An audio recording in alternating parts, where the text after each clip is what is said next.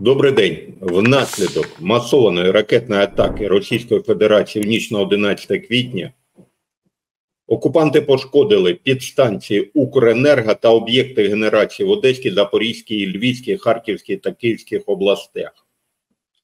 Е, зокрема, повідомляється про те, що під час ракетної атаки 11 квітня російські окупанти атакували дві теплоелектростанції компанії ДТЕК серйозно пошкоджено обладнання підприємства. Поговоримо більш детально про цю масовану ракетну атаку. Але в нашій передачі основний аспект буде не на тактико-технічних характеристиках російського озброєння, а на ступені захищеності стратегічних об'єктів Укренерго і можливих корупційних схемах. Не дивуйтеся.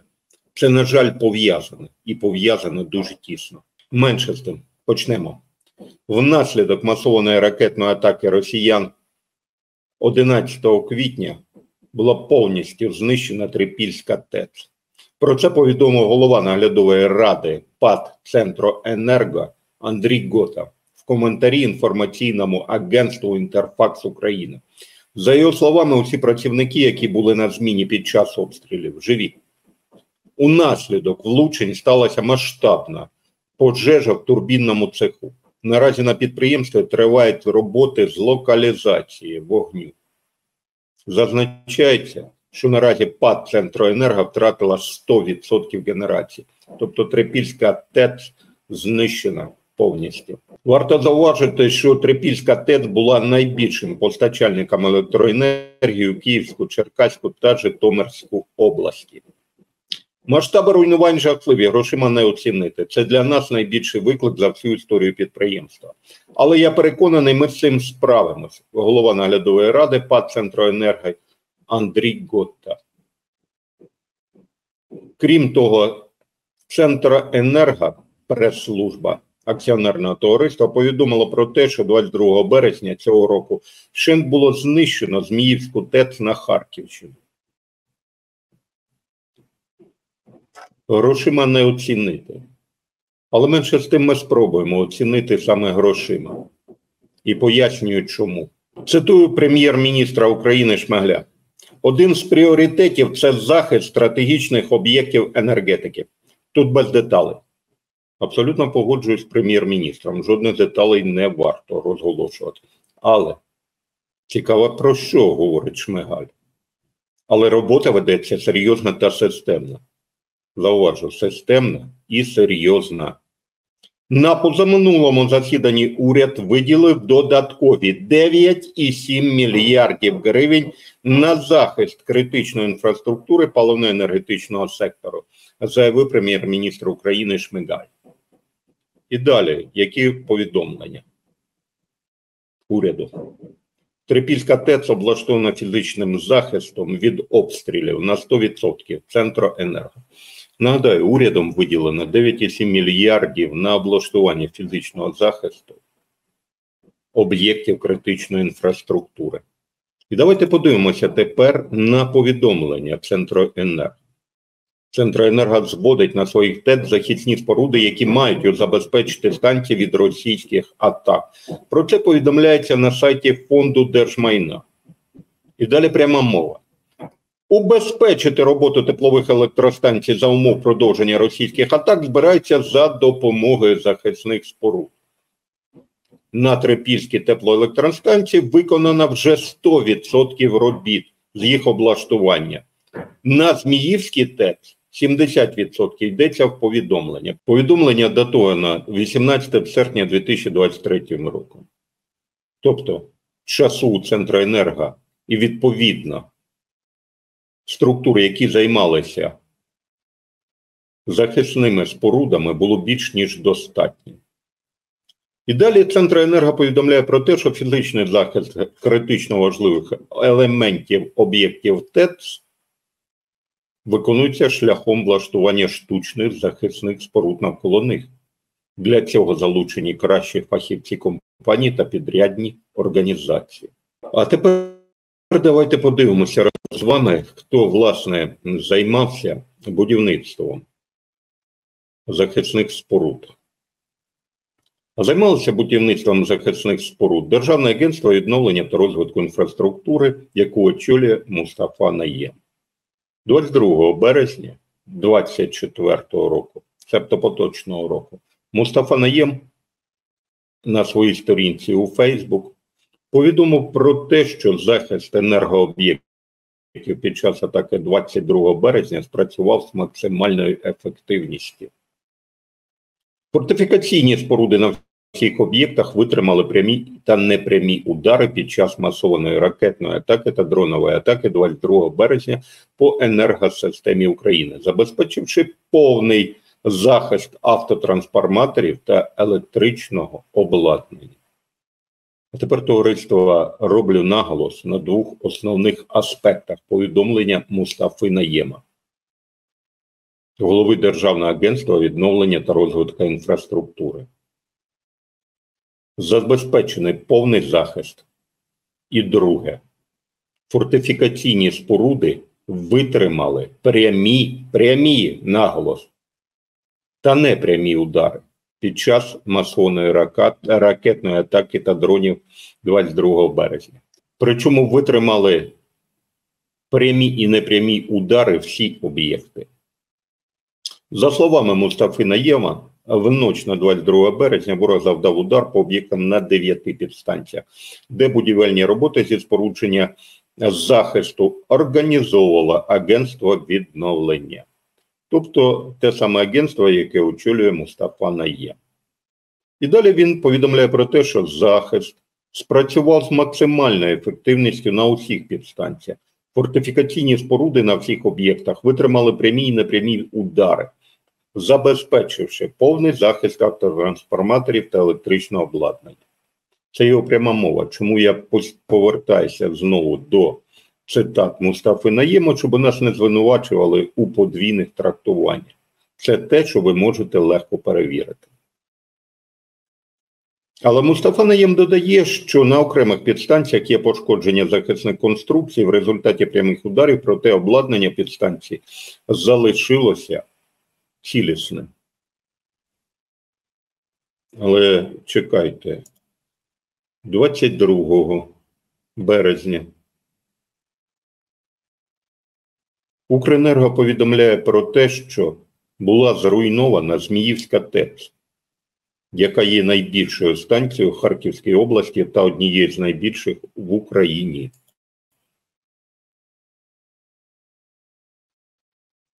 А як же бути тоді з заявами Мустафи Наєма, що ще раз повторюю його пряму мову? Фортифікаційні споруди на всіх об'єктах витримали прямі і непрямі удари. Захист спрацював з максимальною ефективністю. Я нагадаю ще одну заяву Центроенерго, яка датована 18 серпня 2023 роком. Облаштування захисних споруд на Зміївській ТЕЦ виконано на 70%. А взагалі товариство, я нагадаю вам суму, яка була виділена Кабміном на облаштування захисних споруд. Практично 10 мільярдів гривень. 10 мільярдів. Трипільська ТЕЦ була захищена на 100%, і відповідно Зміївська станом на 18 серпня так само була захищена на 70%. З серпня по квітень місяць достатньо часу, щоб відповідно припускати, що і Зміївська ТЕЦ була захищена на 100%. Тобто дві ТЕЦ, на які виділили 9,7 мільярдів гривень, 9,7, 10 мільярдів, шановне товариство, і прозвітували про те, що вони захищені від прямих, підкреслюю, наголошую, і непрямих ударів, наразі вщент зруйновані. І Зміївська, і Трипільська Зауважте, зруйнували самі ті ТЕЦ, на які були виділені шалені кошти з держбюджету. Совпадіння? Не думаю. 10 мільярдів знищено. Але Мустафа Наєм нас переконує про те, що в Багдаді, тобто в Кабулі, чи то в Києві, ні в Зміївці, все спокійно. А як же бути з двома знищеними ТЕЦ? І головне запитання: а де 10 мільярдів? Ви знаєте, мені це нагадало сумнозвісні події часів чеченських компаній на території країни окупанта. Коли відзвітували про відновлення Грозненського вокзалу та інших об'єктів інфраструктури, на які було виділено шалені гроші з російського бюджету, а потім ці об'єкти були зруйновані під час рейду сил супротиву. І відповідно питання, куди поділися гроші, вже не виникало ні у кого. Так сталося. Випадковість. Причому неодноразово говорили про те, що Басаєв, скорше за все, був пов'язаний з російськими спеціальними службами, а більше того, свого часу навіть називалася псевдо його куратора, офіцера ГРУ Генштаба Російської Федерації на псевдо Мансур. Ну, це побрехеньки, ми їм не віримо, правильно? Ми віримо тому, що є якісь дивні співпадіння. На захисні споруди теж виділяють 10 мільярдів гривень. Мустафа Наєм звітує нам про те, що все виконано, всі споруди відпрацювали на відміну, а у підсумку ми бачимо те, що не Зміївської ТЕЦ, не відповідно Трипільської ТЕЦ немає. Укренерго втратила і там, і там 100% потужностей. Але відкритим залишається питання, де гроші? Якщо такими темпами будуть зводити захисні споруди, і головне такою вартістю, які абсолютно не захищають від прямих і непрямих ударів крилатих ракет та безпілотних літальних апаратів, то відповідно бюджет України не витримає цього навантаження. А я нагадаю, шановне товариство, що крім будівництва фортифікаційних споруд, на які Кабмін виділив 9,7 мільярдів гривень, просрочена дебіторська заборгованість Міністерства оборони України станом на 1 січня 2024 року сягнула історичного максимуму 44,4 мільярда гривень. Це ті гроші, які були вкрадені у армії і виведені за кордон через сумнівні контракти, через так звані фірми спецекспортери. А Службі безпеки України треба дати відповідь на запитання: а де ділися гроші? Чи були взагалі захисні споруди? І хто, власне, стояв за питанням призначення Мустафи Наєма на посаду? Відповідного міністерства, яке опікувалося власне роботами зі зведення захисних споруд. Я нагадаю, в моменті його призначення були певні корупційні ризики. До цього часу Мустафа Наєм встиг засвітитися в структурах Укроборонпрому. І історія там була ой, яка неприємна, яку навіть Мустафа Наєм відмовився коментувати. Але ЗМІ повідомили про те, що історія була виключно пов'язана з можливими корупційними оборудками. Тобто людина з високим ризиком корупційних оборудок призначається відповідно на посаду очільника Державного агентства відновлення та розвитку інфраструктури, через яку йде шалене просто фінансування. Ще раз нагадаю, 9,7 мільярдів тільки на будівництво захисних споруд. Але головне в мене запитання до Служби безпеки України. А Мустафа Наєм проходив режим спецперевірки на момент призначення на посаду голови Державного агентства відновлення та розвитку інфраструктури. Оці відповіді я хотів би почути від зацікавлених осіб. А на сьогодні ми мусимо констатувати те, що і Трипільська ТЕЦ, і відповідна Зміївська повністю знищені російськими окупантами. Далі буде. Уважно дивіться наші ефіри, поширюйте. Ця інформація має стати загально відомою. Тільки розголос дозволить унеможливити подібні корупційні схеми. Тримаємо стрій і віримо в ЗСУ. Все буде Україна. Під цим відео опубліковані реквізити для надання матеріальної допомоги діяльності аналітичного відділу громадської ініціативи права справа, який, крім протистояння з російськими спецслужбами, займається відповідно антикорупційними розслідуваннями.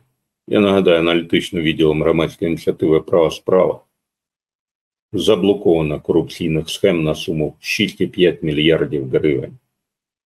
За підсумками роботи аналітичного відділу громадської ініціативи права справа було прийнято низку кадрових рішень, зокрема, відставка очільника СБУ по Луганській області Козловського, начальника Нацполіції по Луганській області і трьох очільників військово-цивільної адміністрації, починаючи від Туки Комарницького і відповідно останнє. Це безпрецедентні успіхи, якими жодна антикорупційна інституція державна не може похвалитися на загал, яка сума, яку не дали вкрасти, а не вибігли на загал і не повідомили. Дивіться, вкрали у нас. Далі буде. І далі буде ще цікавіше. Це буде Україна. Ми того варті.